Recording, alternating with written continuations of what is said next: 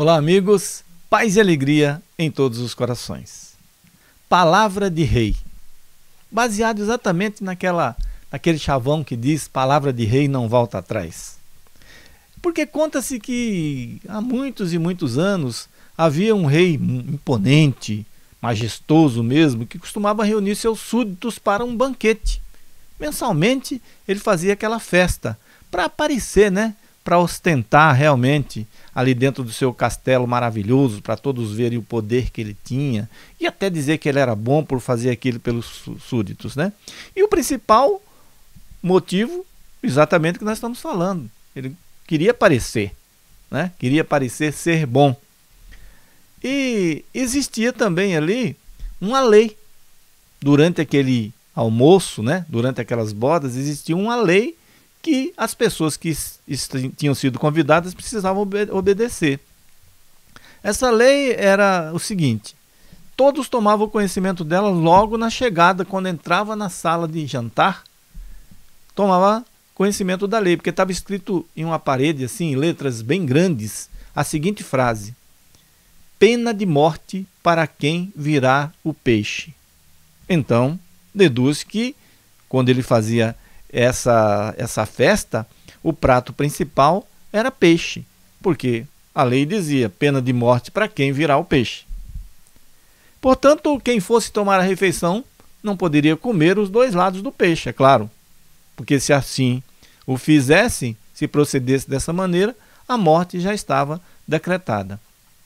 Pois bem, certo dia foi convidado ali um humilde senhor, uma pessoa simples, analfabeto, não conseguiu ter conhecimento daquela lei, não sabia ler, hum, não deu bola para o que estava na parede.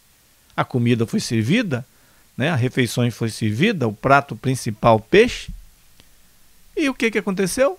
Ele comeu um lado do peixe, virou o outro lado e comeu também. Pronto.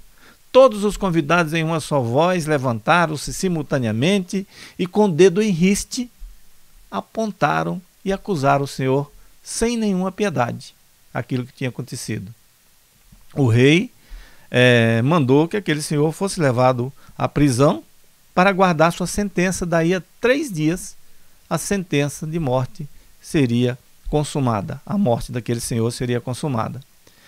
O filho do senhor ficou sabendo rapidamente, veio até o rei, pediu uma audiência e solicitou assumir o lugar do pai, com a seguinte desculpa: Majestade, eu sou ainda solteiro, não tenho nenhuma família, é, eu posso morrer, não tem problema. Agora, meu pai ainda tem a família para sustentar, ainda tem filhos para criar, ainda precisa ajudar a família.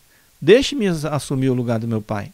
O rei se compadeceu naquele momento e para ele não fazia diferença se fosse pai ou se fosse filho que morresse. E o filho assumiu o lugar do pai. Claro, se ele assumiu, ele teve direito também a fazer os três pedidos. Aí vem o primeiro pedido no primeiro dia. Ele diz o seguinte: primeiro pedido, quero que meu pai receba dinheiro e propriedades suficientes para viver o resto de sua vida e sustentar sua família. Pedido caro para o rei, né? Ele ficou um tanto indignado. Porém, como palavra de rei não volta atrás, concordou em atender o pedido, mesmo a contragosto. Ele não podia se desmoralizar e mandou fazer aquilo. O filho ficou sabendo que o rei tinha mandado fazer aquilo. O segundo pedido, no outro dia, quero me casar com a filha do rei antes de morrer. O rei ficou mais indignado ainda, porém não viu outra solução. Caso contrário, ele sairia desmoralizado. Como queria voltar atrás daquilo que ele prometeu? E o rapaz casou com a filha do rei. Aí no outro dia veio o terceiro pedido e todos a, do reinado e o rei e toda a corte já estavam é, preocupados. que será que vem agora? Que esse homem agora só, só deu prejuízo aqui para a majestade. E o terceiro e último pedido? Ele disse: O meu terceiro e último pedido é muito simples. Eu só quero ver antes de morrer, com os dois olhos furados, as pessoas que viram meu pai virar o peixe. Olha que interessante. Aí a coisa se complicou. Porque todos aqueles que levantaram para acusar o pobre Senhor não sustentaram mais as suas afirmações. Ou seja, ninguém tinha visto. Portanto, como ninguém viu, não havia provas que confirmassem que seu pai tinha virado peixe. Sendo assim, ante essa nova situação, o rapaz foi solto para a desmoralização de todos. Olha que interessante. E o que, que nós podemos aprender com isso, analisando esses personagens que fizeram parte desse conto? Nós vemos o seguinte: alguns sentimentos manifestados, como com destaque a hipocrisia. Porque todos aqueles bajuladores do rei eram falsos, dissimulados, que no momento da refeição haviam presenciado o que tinha acontecido, mas se omitiram com medo de terem seus olhos furados. Provavelmente são aqueles que vivem o tempo todo que seja o seu falar sim, sim ou não, não, só de boca, mas não conseguem testemunhar na hora que precisa. Na hora de acusar, é fácil. São hipócritas. Agora, na hora de testemunhar mesmo a verdade, fogem, se omitem, são covardes.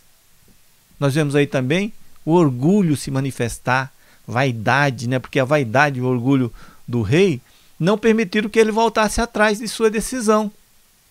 Pois se ele é, fosse mais humilde, já teria soltado o rapaz logo no primeiro pedido. Ele ia ver que a lei dele não tinha significado, que a lei dele não era grande coisa, que, que aquela lei podia levar ele ao prejuízo logo na primeira, mas ele não tinha humildade nenhuma, continuou com seu orgulho e manteve aquilo só porque a palavra dele era daquele jeito. E a gente vê isso acontecer com muitas pessoas, se prejudicam muitas vezes só que não tem coragem de voltar atrás. E por fim, nós identificamos a sabedoria. A sabedoria. A sabedoria que do lado formal nós podemos encarar como temperança, reflexão, sensatez. E do lado informal da sabedoria, nós observamos a astúcia, a manha, a esperteza que demonstrou aquele jovem rapaz para poder se livrar disso e sair muito bem. Foi sábio para fazer isso. Então, meus amigos, em muitos momentos da vida, de nossas vidas, nós temos que dar a mão à palmatória, voltar atrás de decisões, de conceitos, de leis que às vezes nós próprios criamos para nós mesmos. Porque se a gente continuar arrogante, prepotente, orgulhoso, vaidoso, o prejudicado no final pode ser nós próprios. Vamos tentar trocar os nossos defeitos morais por virtudes, virtudes moralizadoras. No lugar do ódio, vamos colocar a humildade, certo? Vamos ser honestos e não hipócritas.